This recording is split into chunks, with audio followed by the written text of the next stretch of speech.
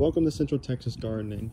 In today's video, I'm going to be installing a homemade DIY first flush diverter system for my IBC tote rain harvesting setup I got here. So stick around and we'll get going. Just a quick summary uh, before I show you my plan design here. This is my original rain harvesting design where I collect water off my gutter system, um, which goes directly into my IBC tote. I had this cloth filter on here, which was doing a good job, but it, it would get backed up really quick. So, so these would, would barely fill at all. So the water was um, getting clogged, backing up, and already going back up and down into my downspout, into my uh, yards drainage system. So, um, so today I'm going to be installing a, a, first flush diverter, which I'm going to put up against the uh, the brick wall here. And I'm going to go down to the ground with it. It's going to sit on some bricks down here. This is two inch pipe. We're gonna go and the first flush is gonna be a three inch pipe. Now this is gonna be a homemade system. Uh, this isn't a kit or anything I ordered. I'm using, some leftover pieces I had from uh, building my chicken coop and chicken feeders. Uh, I think I spent maybe $25 for the rest of the parts and I don't even have a plastic ball like some of those kits come in that rise up in the pipe to block it off once it gets to the top. So I'm gonna be trying to um, two homemade methods. The first will be the empty water bottle, which I've seen some people do. And the second is I'm actually using one of my kids' Easter eggs, plastic Easter eggs. I had some leftover um, weathering tape, so I kind of sealed it up with it, and it actually does float. So we're going to test it and see if it floats to the top and uh, gets blocked off at the top. So let me get everything laid out on the ground here, and I'll kind of show you um, what, what my plan is. So here's my first flush diverter system kind of laid out. Um, the, the top pipe is your two inch pipe, uh, which is going to connect to my existing system right up here. Uh, it goes down into a, um, uh, a reducer. Um, so this is going to go from two inch to three inch. And this is all three inch pipe here. Then I come down and I just have a 90 on here, uh, a little piece of uh, three inch pipe, and then have this connector, which I still need to um, seal on. Then at the end of that is just my cap, which I can screw on. And uh, I notice a lot of people on YouTube that have this kind of system, they can kind of unscrew this and that kind of can control the amount of water that's coming out of this. So instead of the water just sitting in, sitting in here, it'll slowly drain out instead of, you know, if you have this too tight and it doesn't drain out when you go to undo it, it's just gonna instead of getting a couple gallons of water all over you you can allow it kind of let slip drip over time. I know the kits you can get like on amazon they come with a little um, threaded nozzle in the end that slowly drips away. But again this is supposed to be a homemade diy setup i'm doing since i had a lot of these pieces already left over and only had to buy maybe um, 20 25 dollars or so worth of parts. I think those kits run maybe a minimum of 60 dollars so the whole point was to try and do this myself with some stuff I had left over to save some money. So that's my setup. Let's go ahead and start. Uh, I'm going to go ahead and um, seal on the remaining pieces I have left and we'll get it on over there. And Okay, so we're going to um, seal the remaining pieces I have here. Or should I say the remaining piece I have here. Um, I'm using a primer and PVC cement. I recommend you do use the primer. Uh, a lot of videos I see people aren't using it, but I've always had good luck with it, so I tend to just spread it around here on the part that's going to slip on, and then I do do a little bit in the inside connector I'm going to be doing. Then I kind of do the same thing with the cement. Just take a little bit rub it around right there and top that primer. And again just like the primer I'll do the inside of the uh, connection piece that I'm doing. And shove it on there. I usually hold it in place um, just to make sure that so sometimes if you push it on here it will push the piece out a little bit. So I tend to hold it on just for just for about 10 15 20 seconds or so Okay. So I'm going to let that sit. And we'll move on to the next step. All right, so we're gonna do a little test here. Um, I had this crazy idea of, uh, since this wasn't a kit, I didn't have a plastic ball or anything, was I saw this laying in our living room that our kids play with. These plastic Easter eggs. I had some of that Gorilla weathering tape left over, so I kind of sealed it around and sealed up the holes and everything, and hopefully, uh, I think this might work. If all else fails, I can just use a um, empty plastic bottle to put in there. And the goal is, is when this fills up, your first flush fills up, this A is going to rise.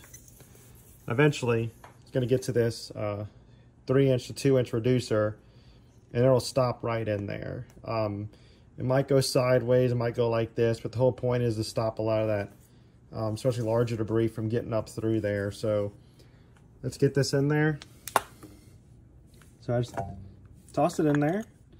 We're gonna screw this on and let me go get the hose on and I'll fill it up to the top and we'll see if it gets up there. Okay, so the water bottle does work. Um, as you can see, it's going down now. Uh, that's because we have water running out of the cap down here. But the empty water bottle does work. It does come up and stop this part up top. And I don't have this screwed on super tight, so it does slowly leak. Um, I'm probably going to tighten it up a little more. I don't know if I want it to leak quite that much. I don't want this whole system to be getting uh, filled up constantly during a rain. So I'll probably try and screw that on just a little more. Um, so the water bottle works. I did try the, the egg, um, but the egg just wanted to stay down in this piece down here. Did not want to come up vertical. But hey, it was worth a shot. That's the fun of it, is trying weird different ways to try and make these things work. So I'm gonna stick with the water bottle, uh, but everything else is working great on it. So let's, I'm gonna go ahead and get it over there and see if we can mount this thing up. Let me show you all real quick why I'm actually doing this.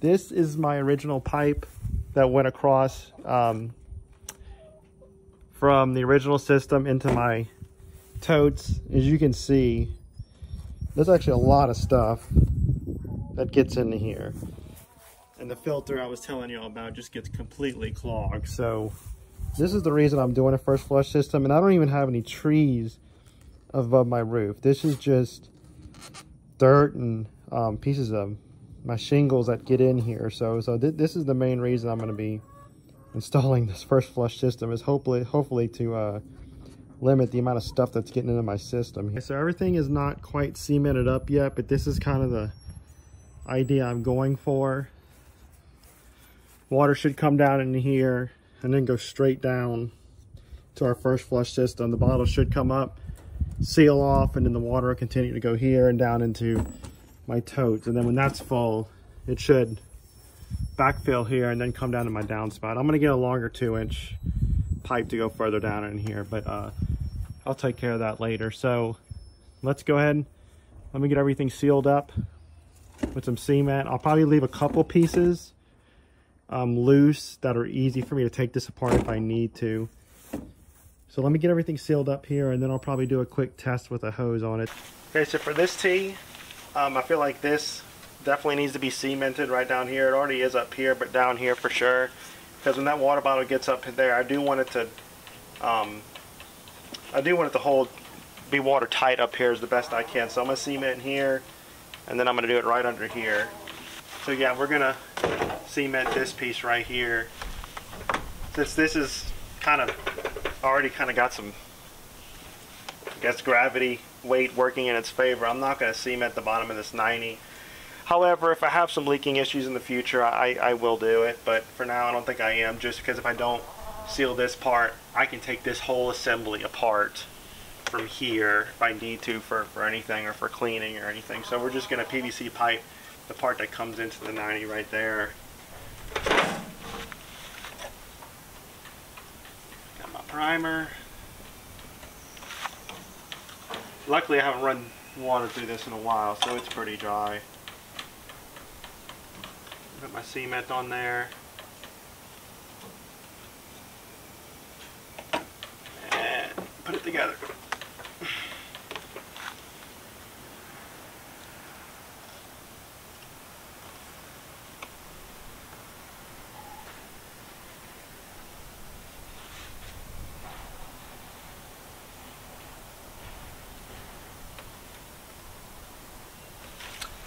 Okay, so looking at this while I was holding that in, that two inch pipe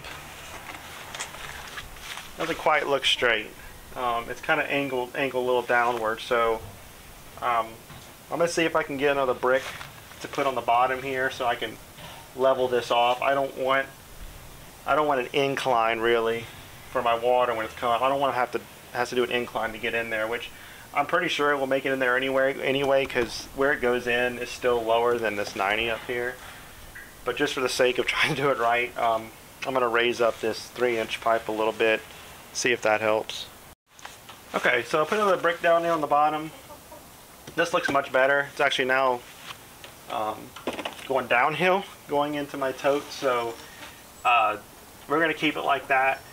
I, I think I am going to um, I am going to seal this. I, I, can I can see water definitely dripping out of here. It's sealed on the other end, so I'm going to seal it right here. So when this whole thing comes off, the whole three inch uh, first flush system, this pipe going to my totes will come with it, which is no big deal. I don't see myself taking this apart that that often, so we're going to pop this one out. Get my primer in there on the pipe, cement.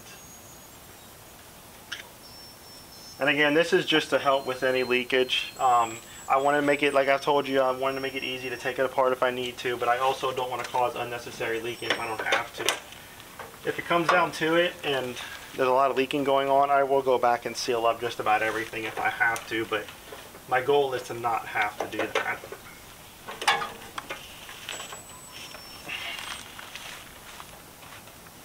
So I think that looks pretty good. Um, other than just having to work on getting a two inch pipe to extend down to my downspout right here, I think that's pretty good. So let me get my hose and I'm gonna run some water through it and hopefully we can hear it filling up in the first flush system and um, hear it going down once it fills up hopefully we'll see it start to go over and then down into my totes and then we'll should be able to hear that so let me get the hose and we'll give it a test not sure if y'all can hear that, but there's there's already some water starting to fill up in here. This is a good slow leak that I'm liking. Once it fills up, it's probably going to get a little more prominent, so I'm probably going to have to screw this in just a little more. I don't know if I want it leaking quite that quick. Like I said, the whole point is to get that dirt out to plug it up and then go into here. So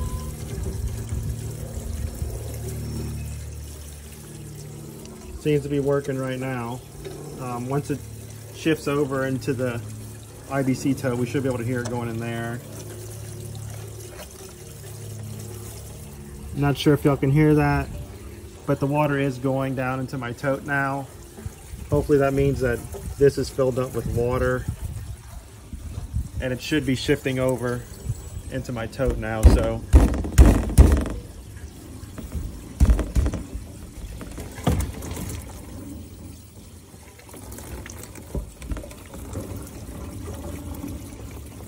Does look like it's working, so that's good. Let's get that back on there. You know, it's funny, as soon as I took this off and there was an incline, um, the water started running back and it wasn't coming out of here. So I'm pretty happy I raised this up a little more to give it that decline there. So good, everything seems to be working good. So let me get the hose off and we'll open up this cap and dump the water out. Okay, so we're gonna take our cap off here and dump the water out for my test.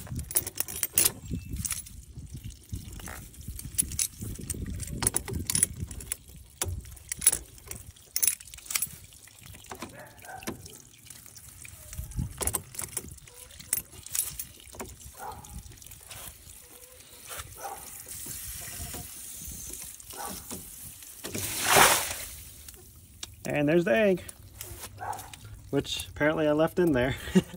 Um, yeah, the water bottle's still in there. It's at the bottom. Perfect, perfect. So good thing I tested it. I would have not remembered to get that egg out. So let's go ahead and tighten this back on. And I'm going to do it pretty tight um, because I don't want it to leak too much.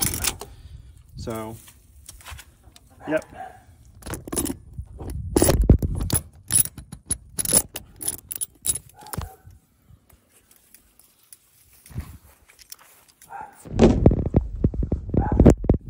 So that's my first flush system, completely homemade DIY. Uh, I, hopefully when I get my first rain, I'll definitely be able to test it out and see what kind of stuff I'm getting down here in the bottom. If you have any questions or comments or suggestions, just let me know in, in the comments below and I'll see you all in the next video. Thanks.